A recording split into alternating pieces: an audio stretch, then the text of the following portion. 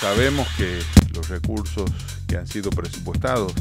por el CIM 1470 son los que le corresponden a la Universidad de La Rioja pero hay el presupuesto general del CIM ha sido considerado por el gobierno nacional prácticamente por encima de lo que preveía el CIM,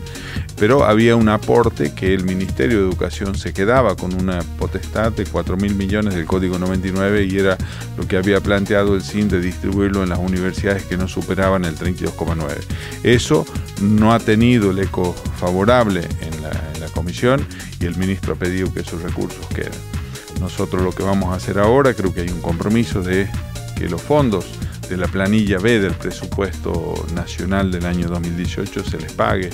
a los rectores, o sea, a las universidades. Esperemos que eso sea lo más pronto posible. Vamos a seguir eh,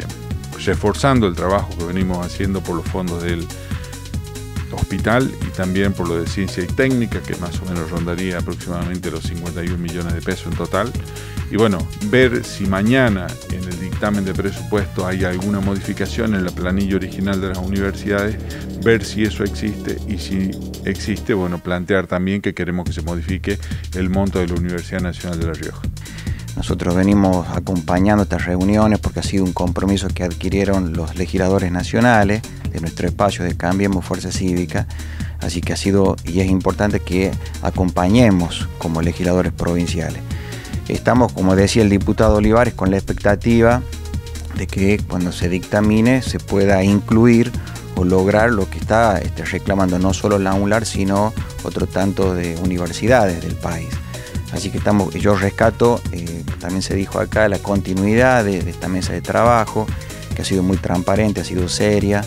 eh, se han discutido, bueno, y sobre todo el esfuerzo que están haciendo nuestros legisladores nacionales para pelear que esos fondos puedan llegar eh, efectivamente a la UNLAR, ¿no? Una de las cosas que queremos es que no se resienta el tema de servicios fundamentalmente en la universidad, porque creo que eso ayuda a, que, mejorar la calidad educativa de nuestros jóvenes, a que tengan prácticas en el interior y bueno, por eso vamos a trabajar, vamos a pelear y si no podemos lograr eso ahora, sin duda el compromiso va a seguir estando de reunirnos con el ministro o con el secretario de Políticas Universitarias, que se va a hacer cargo a partir del primero de noviembre a los fines de pelear por más recursos para la Universidad Nacional de La Rioja.